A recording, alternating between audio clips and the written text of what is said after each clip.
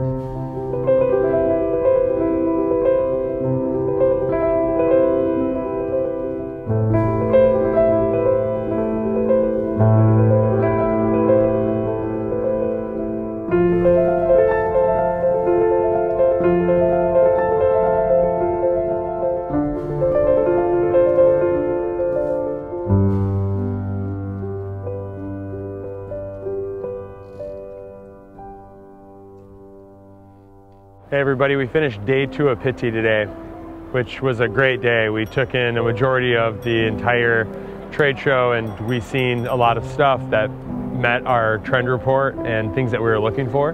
Um, there's probably two or three new brands that we definitely want to bring on and bring to you in fall of 19. There's also some stuff that we're contemplating and debating and now we leave tomorrow to go to Milan and we'll start visiting showrooms and really start getting our buy put together.